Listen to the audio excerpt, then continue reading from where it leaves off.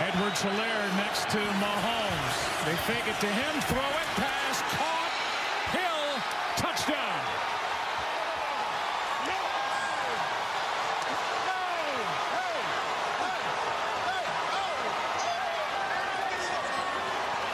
And the two big weapons get it done for Kansas City. Kelce and now Hill. Really a strong catch here by Tyreek Hill once he makes a play on the ball. Campbell's going to try to knock it out, but just good, tough catch there by Tyreek Hill.